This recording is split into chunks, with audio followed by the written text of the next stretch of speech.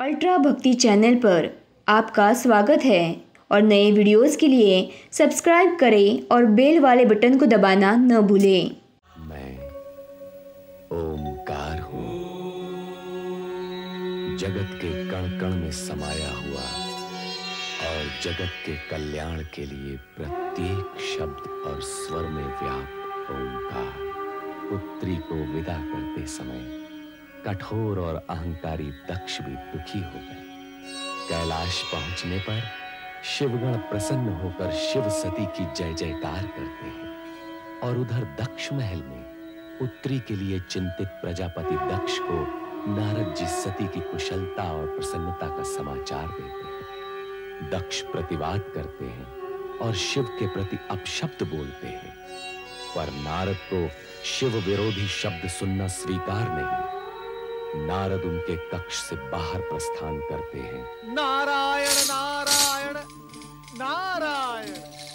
प्रणाम देवर जी प्रणाम भावज विरनी प्रणाम। मुझसे क्या अपराध हुआ देवर जी जो आप मुझसे मिले बिना ही लौट रहे थे। नारायण नारायण। दक्ष प्रजापति के वार्तालाप में इतना उलझ गया कि मुझे आपका ध्यान ही नहीं रहा। मुझे क्षमा करना भावज देवर जी मुझे भी वो सब बताइए जो आपने अपने भ्राताश्री से कहा। अर्थात आपने हमारी कुछ कुछ बातें सुन ली हैं। हम्म, कुछ कुछ सुन ली है। परंतु ये बताइए कौन सा शुभ संदेश लेकर आप उन्हें बताने आए थे? हाँ, हाँ। प्रणाम देवर जी। देवियों सुखी रहो। भगवान विष्णु तुम सबकी मनोकामना। पूर्ण करेंगे। हमारी बहन सती का कोई संदेश लाए है देवर जी नारायण नारायण। तुम्हारी बहन सती शिव जी की संगिनी बनकर संसार का सर्वोत्तम आनंद ले रही है। और और इससे अधिक हम कुछ नहीं बताएँगे। नारायण नारायण। इससे अधिक हम कुछ जानना भी नहीं चाहती। हमारी बहन सुखी रहे बस यही हम सबकी इच्छा है। क्यों माता श्री हाँ बेटी। आज देवर जी ने ये शुभ समाचार सुनाकर हमारी सारी आशंकाओं का अंत किया है। आप हमारे धन्यवाद के पात्र हैं देवर जी धन्यवाद के पात्र है तो देवर्षि का अतिथि सत्कार तो होना ही चाहिए। आइए देवर्षि आज हम सब आपका मुँह मीठा कराएँगे। नारायण नारायण। देवियों ये शुभ अवसर अब तुम्हारे विवाह में ही आएगा। अब मुझे आज्ञा दे। सुनिए तो देवर जी। इन देवियों के विवाह की तैयारियाँ कीजिए अन्यथा विलंब हो जाएगा भावय। नारायण नारायण। रोहिणी नारद जी किसके विवाह की बात कहकर गए अभी अभी? मैं क्या जानू? तुम ही पूछ लो ना माता श्री से। तुम सबके विवाह की बात कर रहे थे देवर जी और उनकी भविष्यवाणी कभी असत्य नहीं होती। समझी? देवर्षि नारद ने वीरणी, दक्ष तथा उनकी कन्याओं की समस्या का समाधान तो किया, किंतु रति शिव सती विवाह में सम्मिलित न होने के कारण चिंतित है।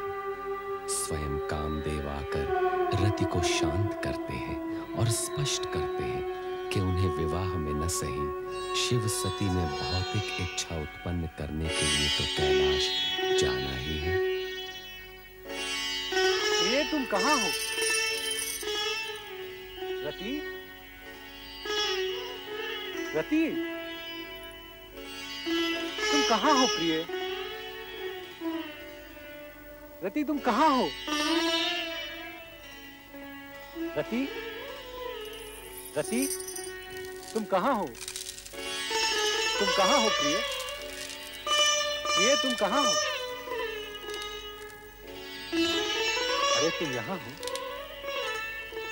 क्या बात है रति तुम मुझसे रुष्ट हो? अरे कुछ तो बोलो। तुम्हारा ये मौन मुझे व्यथित कर रहा है। हाँ मैं आपसे रुष्ट हूँ। मेरी त्रुटि? शिव सती के शुभ विवाह पर स्वर्ग की सभी देवी देवता और अप्सराएँ सम्मिलित हुई। किंतु ना आप गए ना ही मुझे जाने दिया क्यों स्वामी? इसलिए कि हमें ऐसा ही आदेश किसका? परमपिता ब्रह्मा जी का। उन्होंने कहा था कि हमारी उपस्थिति की आवश्यकता शिव सती विवाह के पश्चात की है इस बात से परमपिता का तात्पर्य? हमें ही अपने हाव भावों संकेतों और पुष्प बाणों की वर्षा से शिव और सती में मिलन इच्छा जागृत करनी होगी। उन्हें दाम्पत्य धर्म के निर्वाह के लिए प्रेरित करना होगा। देव मनमत देवी रति परम पिता ब्रह्मा जी ने हम तीनों को तुरंत कैलाश पर्वत पहुँचने का आदेश दिया है। वसंत परमपिता ब्रह्मा के आदेश का पालन हम अवश्य करेंगे। हम तीनों कैलाश जाएँगे।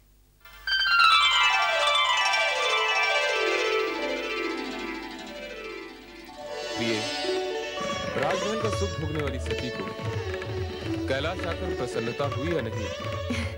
स्वामी, आपके चरणों में जो स्थान मिल गया है, इससे अधिक प्रसन्नता और क्या होगी?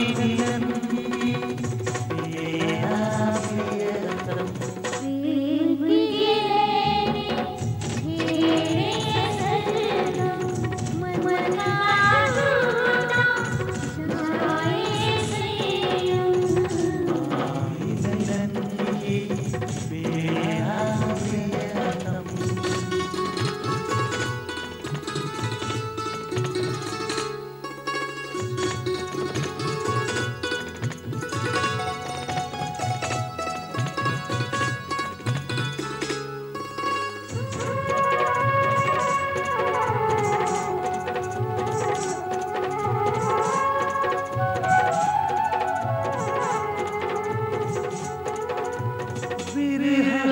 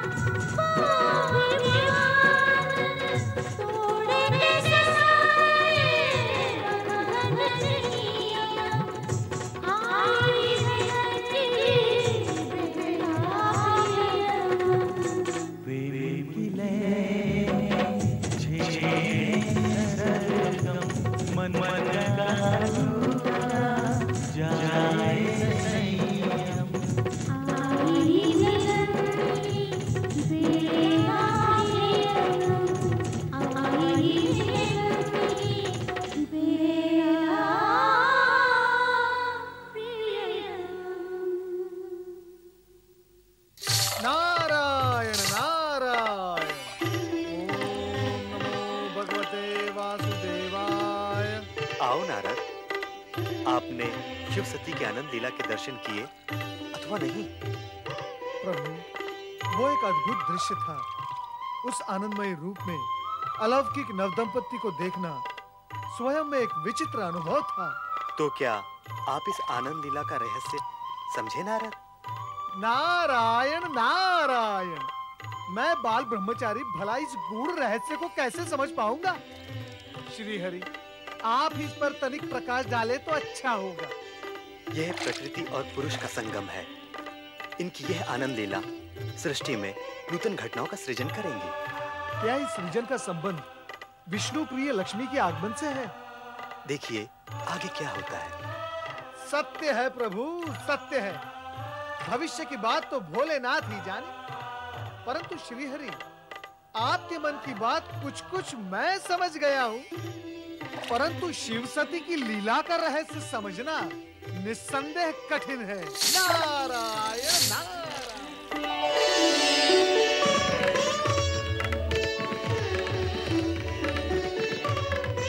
क्या देख रही हो देवी? देख रही हूँ। आपकी आँखों में छलकते प्रेम को। ये तो तुम्हारी आँखों में छलकते प्रेम का प्रतिदान है। जो जितना देता है उतना ही पाता है। मैंने आपसे बहुत कुछ पाया है स्वामी। कितना? ये मैं बता नहीं सकती। चलो देवी पृथ्वी विहार करने चले। पृथ्वी विहार? स्वामी ऐसा प्रतीत होता है कि आपने मेरे मन की बात पढ़ ली है और उसकी पूर्ति के रूप में प्रस्ताव रख दिया पृथ्वी विहार। सच तो यह है देवी सगुण रूप में तन भले ही दो हों। किंतु आत्मा तो एक ही है। मन भी एक ही है। और विचार भी एक ही है। अब चलो, पृथ्वी विहार के लिए चले।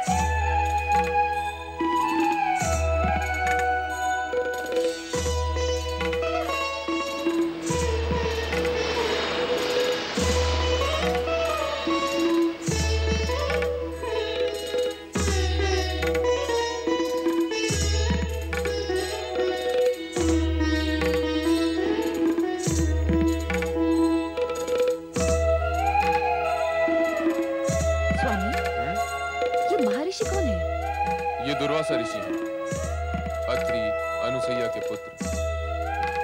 इनका भीषण क्रोध जगत प्रसिद्ध है। इनके क्रोध का परिणाम? जिसके प्रति इनका क्रोध जागृत हो जाए वो घोर संकट में पड़ जाता है। किंतु ऋषि तो वही होता है जिसने काम क्रोध मोह को जीत लिया हो। और ऋषि दुर्वासा का क्रोध तो तुम चुपचाप देखती जाओ।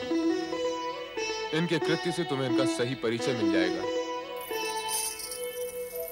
वो देखो देवी उस ओर से जो स्त्री आ रही है, वो विद्याद्री चित्रांगदा है। अब तनिक देखो क्या होता है।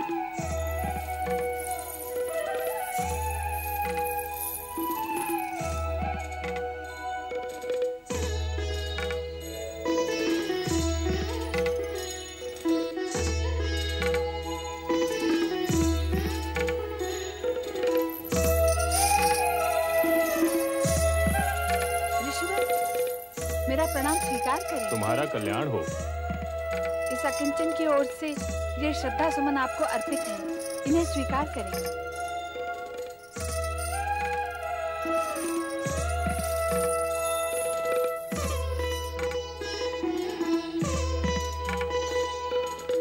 मैं ऋषि वैरागी उस विद्याधरी से पुष्पमाला लेना और उसका प्रयोग करना मुझे शोभा नहीं देता।